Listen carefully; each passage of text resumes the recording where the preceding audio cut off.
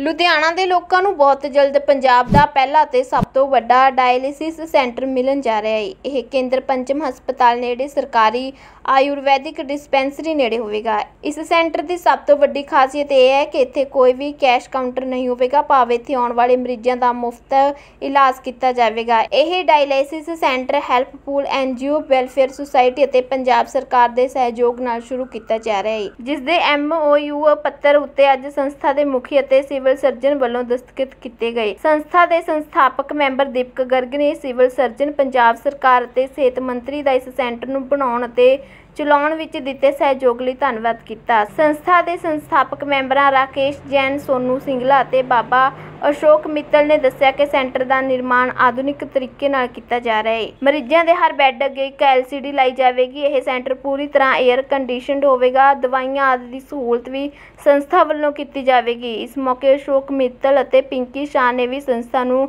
11 ਲੱਖ ਰੁਪਏ ਦਾਨ ਵਿੱਚ ਦੇਣ ਦਾ ਐਲਾਨ ਕੀਤਾ। ਇਸ ਮੌਕੇ ਜਗਰਾਓ ਤੋਂ ਮਾਤਾ ਗੁਜਰੀ ਟਰਸਟ ਦੇ ਸੰਸਥਾਪਕ ਸੰਦੀਪ ਗੁਪਤਾ, ਵਿਕਾਸ ਗੁਪਤਾ, ਪੰਕਜ ਗਰਗ, ਅਸ਼ੋਕ ਭਾਰਤੀ ਨੇ ਦੱਸਿਆ ਕਿ ਸਾਡੇ ਵੱਲੋਂ ਵੀ ਪੰਜਾਬ ਦੇ ਵੱਖ-ਵੱਖ ਥਾਵਾਂ ਉੱਤੇ ਡਾਇਲਿਸਿਸ ਸੈਂਟਰਾਂ ਵਿੱਚ ਵੀ ਮਸ਼ੀਨਾਂ ਵੀ ਚਲਾਈਆਂ ਜਾ ਰਹੀਆਂ ਹਨ, ਜਿੱਥੇ ਮਰੀਜ਼ਾਂ ਤੋਂ ਕੋਈ ਪੈਸਾ ਨਹੀਂ ਲਿਆ ਜਾਵੇਗਾ। Bureau report, Disha update news ਦੇ ਨਾਲ ਧੰਨਵਾਦ।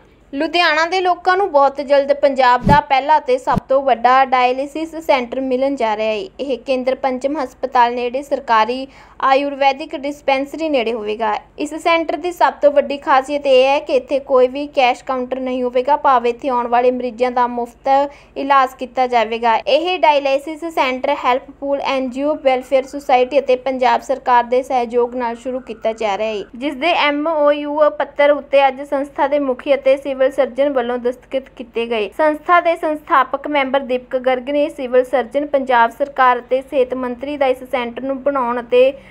ਚਲਾਉਣ ਵਿੱਚ ਦਿੱਤੇ ਸਹਿਯੋਗ ਲਈ ਧੰਨਵਾਦ ਕੀਤਾ। ਸੰਸਥਾ ਦੇ ਸੰਸਥਾਪਕ ਮੈਂਬਰਾਂ ਰਾਕੇਸ਼ ਜੈਨ, ਸੋਨੂ ਸਿੰਗਲਾ ਅਤੇ ਬਾਬਾ ਅਸ਼ੋਕ ਮਿੱਤਲ ਨੇ ਦੱਸਿਆ ਕਿ ਸੈਂਟਰ ਦਾ ਨਿਰਮਾਣ ਆਧੁਨਿਕ ਤਰੀਕੇ ਨਾਲ ਕੀਤਾ ਜਾ ਰਿਹਾ ਹੈ। ਮਰੀਜ਼ਾਂ ਦੇ ਹਰ ਬੈੱਡ ਅੱਗੇ ਇੱਕ ਐਲਸੀਡੀ ਲਾਈ ਜਾਵੇਗੀ। ਇਹ ਸੈਂਟਰ ਪੂਰੀ ਤਰ੍ਹਾਂ 에ਅਰ ਕੰਡੀਸ਼ਨਡ ਹੋਵੇਗਾ। ਦਵਾਈਆਂ ਆਦਿ ਦੀ ਸਹੂਲਤ ਵੀ ਸੰਸਥਾ ਵੱਲੋਂ ਕੀਤੀ ਜਾਵੇਗੀ। ਇਸ ਮੌਕੇ ਅਸ਼ੋਕ ਮਿੱਤਲ ਅਤੇ ਪਿੰਕੀ ਸ਼ਾਹ ਨੇ ਵੀ ਸੰਸਥਾ ਨੂੰ 11 ਲੱਖ ਰੁਪਏ ਦਾਨ ਵਿੱਚ ਦੇਣ ਦਾ ਐਲਾਨ ਕੀਤਾ। ਇਸ ਮੌਕੇ ਜਗਰਾਓ ਤੋਂ ਮਾਤਾ ਗੁਜਰੀ ਟਰਸਟ ਦੇ ਸੰਸਥਾਪਕ ਸੰਦੀਪ ਗੁਪਤਾ, ਵਿਕਾਸ ਗੁਪਤਾ, ਪੰਕਜ ਗਰਗ, ਅਸ਼ੋਕ ਭਾਰਤੀ ਨੇ ਦੱਸਿਆ ਕਿ ਸਾਡੇ ਵੱਲੋਂ ਵੀ ਪੰਜਾਬ ਦੇ ਵੱਖ-ਵੱਖ ਥਾਵਾਂ ਉੱਤੇ ਡਾਇਲਿਸਿਸ ਸੈਂਟਰਾਂ ਵਿੱਚ ਵੀ ਮਸ਼ੀਨਾਂ ਵੀ ਚਲਾਈਆਂ ਜਾ ਰਹੀਆਂ ਹਨ, ਜਿੱਥੇ ਮਰੀਜ਼ਾਂ ਤੋਂ ਕੋਈ ਪੈਸਾ ਨਹੀਂ ਲਿਆ ਜਾਵੇਗਾ। Bureau report, Disha update news ਦੇ ਨਾਲ ਧੰਨਵਾਦ। ਲੁਧਿਆਣਾ ਦੇ ਲੋਕਾਂ ਨੂੰ ਬਹੁਤ ਜਲਦ ਪੰਜਾਬ ਦਾ ਪਹਿਲਾ ਤੇ ਸਭ ਤੋਂ ਵੱਡਾ ਡਾਇਲਿਸਿਸ ਸੈਂਟਰ ਮਿਲਣ ਜਾ ਰਿਹਾ ਹੈ। ਇਹ ਕੇਂਦਰ ਪੰਚਮ ਹਸਪਤਾਲ ਨੇੜੇ ਸਰਕਾਰੀ ਆਯੁਰਵੈਦਿਕ ਡਿਸਪੈਂਸਰੀ ਨੇੜੇ ਹੋਵੇਗਾ। ਇਸ ਸੈਂਟਰ ਦੀ ਸਭ ਤੋਂ ਵੱਡੀ ਖਾਸੀਅਤ ਇਹ ਹੈ ਕਿ ਇੱਥੇ ਕੋਈ ਵੀ ਕੈਸ਼ ਕਾਊਂਟਰ ਨਹੀਂ ਹੋਵੇਗਾ, ਭਾਵੇਂ ਇੱਥੇ ਆਉਣ ਵਾਲੇ ਮਰੀਜ਼ਾਂ ਦਾ ਮੁਫਤ